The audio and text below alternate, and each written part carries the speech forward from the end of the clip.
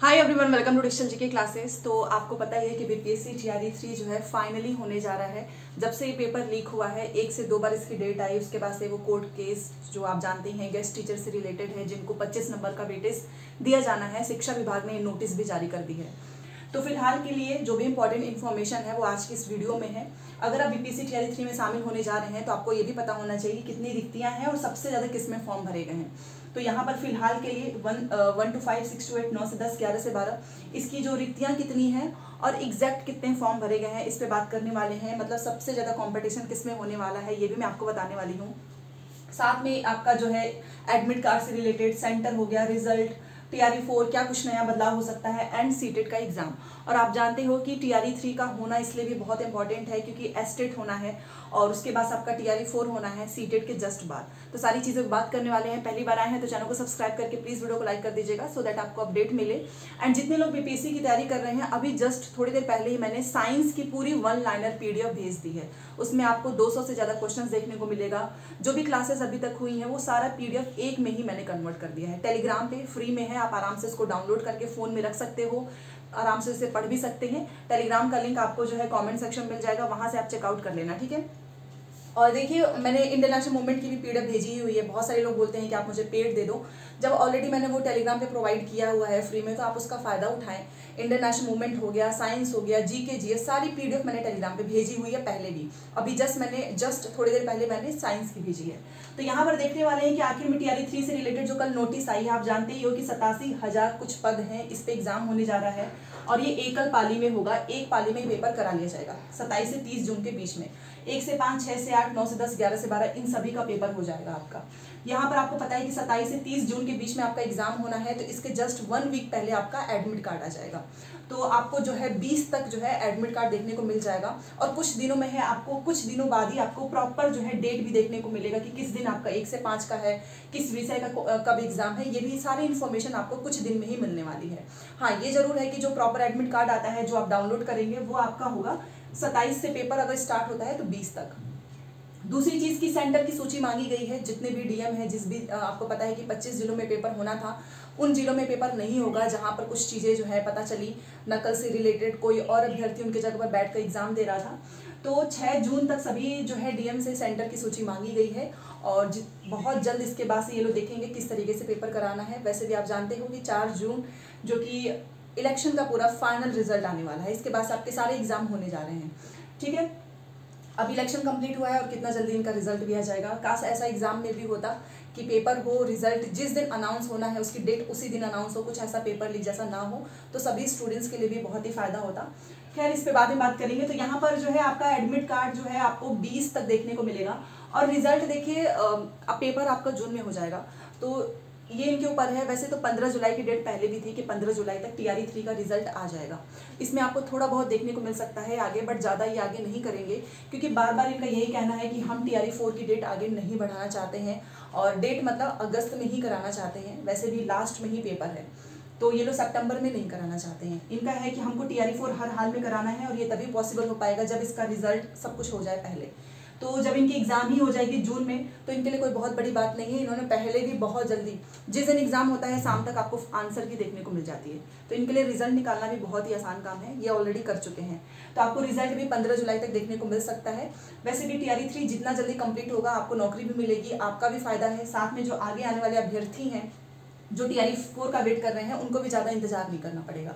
ठीक है? तो टीआरई आर फोर में जितने भी सीटेड वाले हैं, वो शामिल हो जाएँगे। तो सीटेड की तैयारी अच्छे से कर लो और नंबर कम लेकर मत आना। जितने भी बाहरी राज्य वाले भर्ती हैं नाइन्टी नंबर ही लेकर आना। पेपर वन हो, चाहे पेपर टू है, अगर आप किसी भी स्टेट के हैं, आपको नाइन्टी नंबर चाहिए, तभी आप टी फोर में एलिजिबल हो अदरवाइज़ आप बाहर हो जाओगे। क्योंकि अभी दरभंगा के बयालीस शिक्षकों को बाहर किया गया है, जो कि बाहर के थे, जिनका नंबर सीटेट में कम था। अभी बाकी चेकिंग हो रही है। तो सीटेट में अगर पेपर टू में एसएसटी है, और एसएसटी के अगर आप नोट्स लेना चाहते हो, अभी हिस्ट्री का हमने तैयार कर दिया है फोर्टी में आप ले सकते हैं। सोशल साइंस आप जानते ही हो, साठ नंबर का क्वेश्चन पूछता है। सबसे ज़्यादा हिस्ट्री से ही आता है, पंद्रह से सोलह, कभी चौदह भी आ जाता है। उसके बाद से जोग्राफी देन पॉलिटी तो जोग्राफी पॉलिटी भी आपको आठ जून तक मिल जाएगा तो अगर आप हिस्ट्री का भी पढ़ना चाहें तो आप ले सकते हो बाइलिंगुअल नोट्स है व्हाट्सअप नंबर आपको कमेंट सेक्शन में मिल जाएगा। तो देखिए सीटेड जुलाई वाले टीआरई फोर में शामिल हो जाएँगे। अच्छा मैंने कल देखा कि क्या क्या बदलाव होगा। मैंने देखा यूट्यूब पे बहुत सारे लोग बोल रहे थे कि ये बदलाव हो सकता है, वो। तो ऐसा कुछ भी इसमें बदलाव नहीं हुआ है। बस ये है कि एग्ज़ाम की डेट को बदला गया है, सत्ताईस से तीस जून, और एकल पाली में परीक्षा होना है। आपने पिछली बार देखा होगा कि जो पेपर हुआ था, जो पेपर लीक हो गया था सिक्स टू एट हुआ, फिर वन टू फाइव, एक एक दिन ऐसा रखा था, फिर कुछ एग्ज़ाम की डेट भी नहीं आई थी। तो इस बार ऐसा नहीं है, इस बार सब एक ही साथ हो जाएँगे, एकल पाली में ही। अब बात कर लेते हैं कि किसमें कितने पोस्ट हैं तो अगर मैं वन टू फाइव की बात करूँ तो अट्ठाईस हज़ार है, और इसमें केवल डी वाले हैं। ये रिक्तियाँ हैं आपकी, सिक्स टू एट में आपके उन्नीस हज़ार है, और सबसे ज़्यादा फॉर्म दो लाख दो लाख के ऊपर ही है। इतने फॉर्म भरे गए हैं इसमें, सिक्स टू एट में। दो लाख से ज़्यादा। सोचिए, उन्नीस हज़ार अभ्यर्थियों का ही सिलेक्शन होगा उन दो लाख में से। तो तैयारी इसलिए अच्छे से करो क्योंकि सीट ज़्यादा नहीं है, जितना फॉर्म भरा गया है। और सिक्स टू एट में आप जानते भी हैं कि बी और डी दोनों को मौका मिलता है। वन टू फाइव में आपके अट्ठाईस हज़ार है बट इसमें भी फॉर्म अच्छा खासा भरा गया है, एक लाख से ऊपर ही है। तो होगा तो अट्ठाईस हज़ार का ही ना? और वो भी आप जानते हैं कि कुछ तो सीटें वहीं के जितने भी बाहरी अभ्यर्थी हैं, उनको तो जनरल में ही फाइट करना है। तो आप उस तरीके से तैयारी करो। बाकी नौ से दस है, सोलह हज़ार सीट है।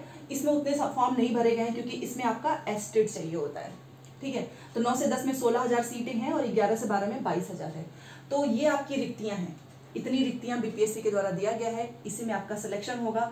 चाहे दो लाख फॉर्म भरा गया है, चाहे मतलब मैं सेक्शन वाइज बात कर रही हूँ, चाहे डेढ़ लाख होगा तो उन्हीं का जो अच्छा खासा नंबर लेकर आएँगे और उन्नीस हज़ार सीट आप सोच सकते हो कंपटीशन कितना इसमें अच्छा खासा होने वाला है, दो लाख के आसपास। वैसे देखा जाए तो सीरियस स्टूडेंट्स भी तो कम ही होते हैं ना।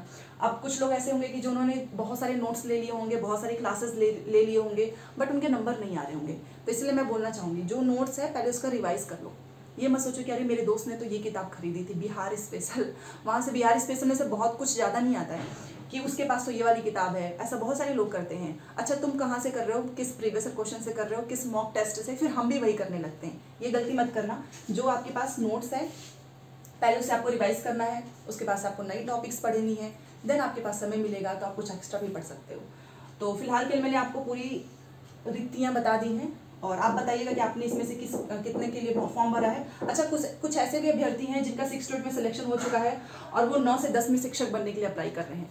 और कुछ ऐसे भी हैं, क्योंकि मेरे पास मैसेज आते हैं कि उनका ऑलरेडी हो चुका है बट उनको घर से बहुत दूर भेज दिया है। ठीक है? वो नौ से दस में ही है बट उनको घर से बहुत दूर भेज दिया है अब वो घर के आसपास आने के लिए दोबारा से पेपर दे रहे हैं। तो आप सोच सकते हो कि आपका कंपटीशन किससे होने वाला है, जो ऑलरेडी सेलेक्टेड हैं और जो एक एक दो दो नंबर से पिछली बार रह गए थे, जिनका सप्लीमेंट्री रिज़ल्ट नहीं आ पाया। ठीक है? तो ये सारी रिक्तियाँ हैं। अच्छा एक चीज़ मैं आपको बोलना चाहूँगी टीआरई फोर से रिलेटेड टीआरई फोर जितने लोग भी देख रहे हैं, फिर से इन सभी पे वैकेंसीज आएँगी। एक से पाँच, छह से आठ, नौ से दस, ग्यारह से बारह। अगर आपका एस्टेट क्लियर है, नहीं क्लियर है तो दोबारा से एस्टेट होगा, उसमें आप अप्लाई कर सकते हो। तो इन सभी पे आने वाला है। अगर आपने केवल डीएलएड किया है, आपका केवल पेपर वन पास है तो आप वन टू फाइव में भरेंगे। फोर के लिए मैं बता रही हूँ, क्योंकि कुछ कैंडिडेट्स पूछते हैं। अगर आपने बीएड किया है, आपने डीएलएड भी किया है, आपका सीटेड पेपर वन पास है तो आप पेपर वन टू फाइव में जाएँगे। पेपर टू पास है तो आप सिक्स टू एट में जाएँगे। एस्टेट पेपर वन पास है तो आप नौ से दस भरेंगे। एस्टेट पेपर टू पास है तो आप ग्यारह से बारह भरेंगे। बट एलिजिबिलिटी वही है आपका कि सिक्स टू एट के लिए आपका बी एड डी चलेगा बट नौ से दस में आपका बी एड होना चाहिए। बी एड वाले वन टू फाइव में नहीं जा सकते हैं क्योंकि यहाँ पर डी एड चाहिए। तो यहाँ पर मैंने आपको सारी चीज़ें बता दी हैं और बस एक चीज़ है कि जितना जल्दी पेपर होगा, उतना ही जल्दी रिज़ल्ट आएगा। काउंसलिंग आपका बहुत जल्द हो जाएगा। वैसे भी आपने देखा ही होगा सीएम नीतीश भी बोलते हैं कि हमने बहुत सारी नौकरियाँ दी हैं, आगे भी देंगे। और जो तेजस्वी यादव है, वो भी बोलते हैं कि हमने बहुत सारी नौकरियाँ दी हैं, आगे भी देंगे। खैर, कोई बात नहीं, इसमें फ़ायदा बस होना चाहिए कि भर्तियाँ आती भर्तियाँ जो है वो आनी चाहिए, जिससे कि जैसे इस बार सिलेक्शन हो रहा है, आपने देखा होगा टीआरई वन में हुआ टीआरई टू में। हाँ ये बात और है कि इसमें कुछ सीटें तो बेकार हो गई हैं, क्योंकि कुछ फेल अभ्यर्थी भी नौकरी कर रहे हैं। अब ये टी आर थ्री अच्छे से कंप्लीट किया जाएगा, क्योंकि अब सारी चीज़ें क्लियर हो चुकी हैं। एंड देन आपका टी आर फोर भी इसी साल होगा, और अगस्त में अगर आपका टी आर फोर हो जाता है तो फाइव में आपका जो टी आर फाइव है, वो भी इसी साल हो जाएगा। ठीक है? तो चलिए, फ़िलहाल के लिए जो भी चीज़ें हैं टेलीग्राम पे ज़रूर जाकर आप लोग पीडीएफ ले लेना, जिसे भी साइंस की फ्री में पीडीएफ चाहिए इंडियन नेशनल मूवमेंट की। अगर आप सीटेड एसएसटी का पेड नोट्स लेना चाहते हो फोर्टी नाइन रुपीज़ में ओनली हिस्ट्री का देन आप व्हाट्सअप पे मैसेज कीजिएगा। मिलते हैं नेक्स्ट क्लास में थैंक्स फॉर वॉचिंग